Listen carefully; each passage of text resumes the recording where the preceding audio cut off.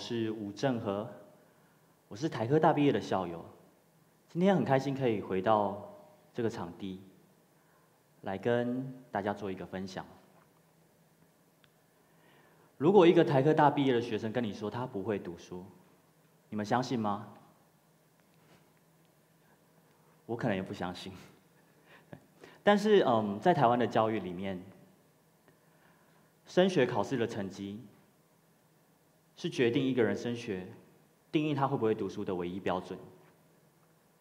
还记得我在国中升高中的升学考试，我的分数是一百七十七分。为什么我会这么印象深刻？因为我觉得我可以更好，所以我苦读了一个多月，奋发图强，觉得应该哎努力会有结果。结果大家觉得努力会怎么样？放榜之后，分数是一百七十七分，很幸运吧？这就是国家这个台湾的教育当时对我贴上的标签。如果一次可能是偶然，如果两次，应该就是实力了吧？当时我很沮丧，我想说：哎，为什么努力没有结果？不是努力应该要有收获吗？我想说，为什么我好像期辜负了很多人的期待？我好像辜负了父母对我教育的期待。我是不是不不聪明？我是不是只有这样的能力？那当然还是要面对现实。这个一百七十七分就必须要作为我填志愿的选择。当我在做这个选择的时候。我发现，其实一百七十七分的选择很多，为什么？因为我不用照着大家的那一套公式，先填公立高中高职，公立学校填完填私立，我没有这个包袱，我可以随便填，我可以填我想填的，反正不会再更差。对，那当时其实呃，因为自己很迷线上游戏，一款天堂的游戏。那当时就为了可以有更多时间玩游戏，所以所有志愿全全都填资讯科。那当然也如愿了，上了资讯科。我上的是一所私立的五专，这不是一所呃排名很前面的五专，但是我永远记得我的爸爸当时这样到处去跟人家说：“阮囝吼考到台北第一名的私私立五专。”他说我呃考上了台北第一名的私立五专，其实五专大概就只有三四间啊。对，但是其实上了五专之后，我觉得我非常开心。我碰到了专业科目，我发现原来学习可以这么开心。我知道什么是自主学习，我知道学习怎么跟我所知道东西应用。我开始会用。上课以外的时间去做一些额外的探索。后来，我被学校派去参加了一个技能竞赛。这个技，我在这个技能竞赛里面拿到了一面奖牌，我拿到了全国的铜牌。这个奖牌翻转了我的人生，因为这面奖牌，我被保送到了台湾科技大学。我当时觉得我好像蛮厉害的，全国第三哎。但是到了台科大之后，才发现，哇，原来我差别人这么多，怎么每一个人都这么强？最印象深刻的事情是，我进了这个学校，我连期中考我连题目都看不懂，但是有人考八九十分，因为全部都是英文命题。哇，原来我差别人这么多，原来这里真的是天大地大，原来我的世界观这么小，我这么的无知。对，但是后来我发现，其实。因为这样，学校的资源除了老师以外，每一个同学都是你可以学习的对象，因为他们每个都比你强，所以我花很多时间跟同学讨论功课啊，讨论其他事情啊，也扩展了我的世界观。后来我用第一名的成绩推甄到了台大。讲这个故事其实是要。提出一个观点是：当拿到第一名之后，第一名代表什么？我开始思考这个问题。第一名代表什么？对我来说，第一名代表我找到了一个寻找标准答案的方法，我找到了考试的技巧，我找到了老师的喜好，我知道怎么样拿高分。但是在每一个拿高分的过程，我可能要比别人花很多很多很多的时间去拿到那一分两分的高分，这样真的值得吗？后来我想到了一位长辈，他对我说的话，他给我的评价是。你太在乎别人的眼光了，你追求的都是别人定义好的东西。哦，我才恍然大悟，因为国中考试没有考好，在我心里留下了这样的种子，让我想要以上好的学校、拿好的名次当成标准，当成人生的目标。但是这代表什么？我自己的目标在哪？我发现我在追求目标的同时，也失去了目标。就在思考这个问题的同时，我遇到了我现在创业的伙伴，一句“我以后想要创业”，开始了接下来六年的创业旅程。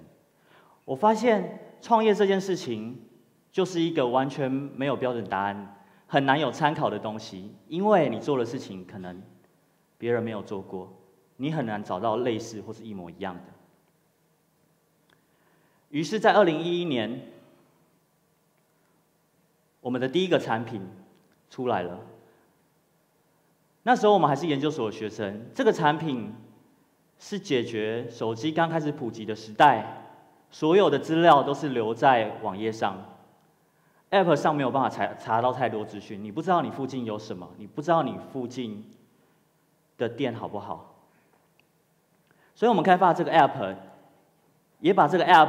拿去参加比赛，去参加台大的创新竞赛，拿了一个奖牌，然后就死掉了。我们发现一个月后，没有人要下载这个 app 了，因为我们提供的资料是人家不想要的。我们什么东西都给，你可以查到所有好的、坏的店，但是使用者他只想要知道对他有帮助的。那我们分析了这些原因之后，我们发现其实，哎，吃这件事情是每个人每天都会遇到的问题。三餐可能都会遇到，最常遇到问题就是，哎，今天吃什么？晚上吃什么？所以我们就开发了第二次的 App，我们把里面的美食资料结合我当初最喜欢看的一个美食节目，把它变成了一个美食 App。你可以知道附近哪些店是在这个美食 App 有出现过的。OK，这个 App 应该会被使用者接受了吧？好像要解决掉一些痛点，好像有那么一点吸引力。没错，在第六天，他拿到了 Google 最热门的 App。这有图为证。当我们在讨论说它后续的发展的时候。他又死掉了，哇！人生怎么会这样？就是起起伏伏，而且这起伏好大哦，好像说你刚学会飞，然后你从呃山谷上准备要飞的时候，你的翅膀断掉，你就摔死。那后来我们接到了 Google 的一封信，他说我们的 App 可能有嗯被让人家以为是官方出版的一个嫌疑。OK，我们知道原因了。那既然这样，我们就去找一些专业的人、懂法律的人去咨询。我们决定，我们不放这种美食节目的，我们放很多美食节目的。它的名字叫做电视美食，这样就没有就是让人家误会的这种嫌疑。那我们只放呃店家的名字啊、地址跟电话，其他资料都是使用者提供，所以也没有著作权的问题。那这个 app 去无存金了吗？所以他在 App Store、在 Google Play 拿到了冠亚军的结果，超过两百万的下载。大家觉得这个 App 成功吗？它看起来好像成功，但是有一个很重要的事情是，做这个 App 的时候我们已经毕业了，我们有现实面的压力。这个 App 没有办法赚钱，我们没有商业模式，我们的钱没了，我们拿一百万出来。没了，要付薪水怎么办？于是我们灵机一动，我们去参加一些比赛，想说拿一些奖金，至少可以活个三五个月。后来我们拿我们一个 side project 去参加比赛，也顺利拿到了呃台大一个另外一个比赛的五十万元。五十万元奖金真的蛮高的，真的可以活活一段时间。但是这时候又面临到另外一个层面的选择了，因为原本的问题还在。我必须要做出取舍，没有商业模式，几个月后还是会死掉。那后来我们决定，我们放弃原本累积的这些数字，这些虚名，我们开始了做，呃，我们把我们丢出去的，呃，比赛的的服务，认真的开始去经营。它叫做 Pixie。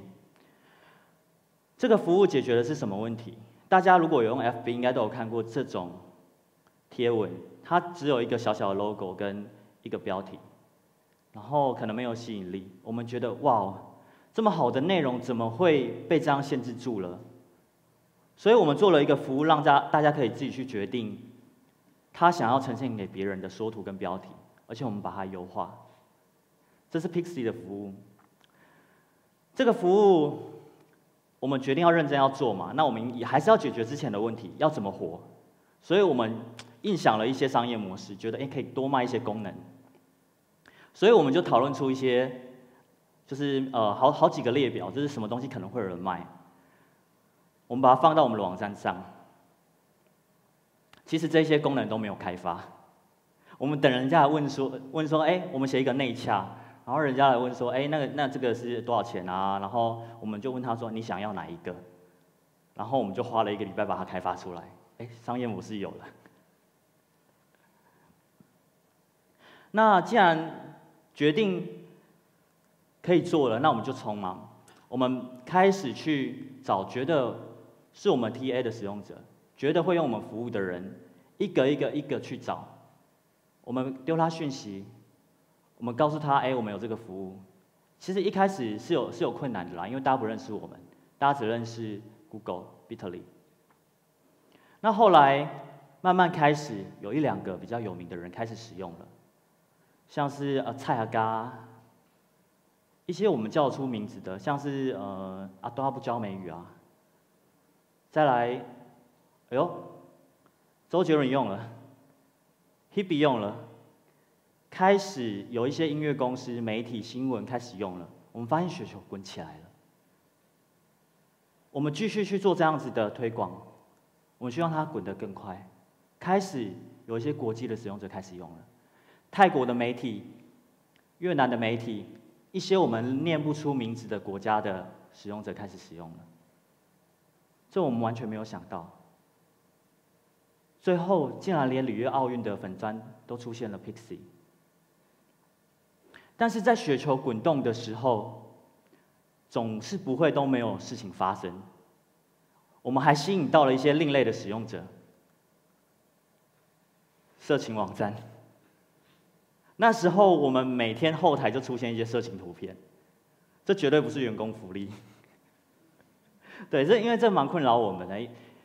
FB 或是一些比较大的平台，它不会允许去在它这个平台上散播色情的内容。所以我们必须要去阻挡。那当时我们也蛮担心的，我们怕被黑掉。那如果是大家应觉得应该要怎么做会比较好呢？我们当时想说，哎，竟然有这么大的流量，这些色情的东西，我们来一个借力使力吧。我们我们做了一个页面，跟他说这些色情的内容被删掉了。点过来的人会看到，嗯，Pixie 的介绍跟。广告，于是我们有了第一笔的广告收入。当然，我们还吸引到的对象不只是他们，我们还吸引到一些更特别的使用者。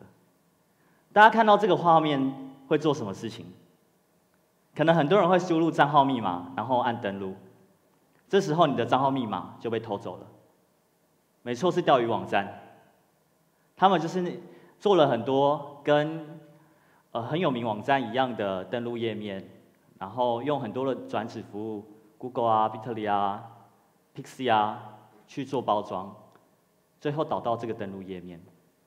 那 Facebook 就以为是我们做了这个登录页面，所以在站上这个讲台的两个礼拜前，我们被 Facebook 误会了，他以为是我们放的，我们遇到了之前没有遇过的危机，有部分使用者的连接被挡了，哇，我们真的是觉得超愧疚的，但是我们花很多的时间去。想怎么去补救，怎么去让以后这件事情不要发生，所以我们在不到一天的时间把这个问题解决掉。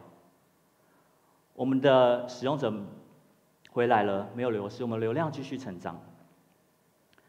这边让我学到的是很多危机处理的技能。雪球滚得越快的时候，你也要跟得上，才能帮他排除一些石头啊、树木啊，让它继续的滚下去。这个故事还在继续。一个当初被台湾教育定下标签的小男孩，在一个偶然之下，点燃了心中的一把火，乘上了飞往梦想的热气球。这个热气球带他越过高山，越过各种困难，看到了美丽的风景，到了未曾看过的地方。这个小男孩没有想到过，他自己解决自己问题的一个产品、一个服务，可以被散播到世界各个国家。这里，我送给大家一句我自己很喜欢的话：每个人都是天才。如果用一条鱼，用爬树的技能去评断一条鱼聪不聪明？他会一辈子觉得自己很笨。我相信在场的各位，每一位都是那个天才。也祝大家可以找到属于自己的热情。谢谢大家。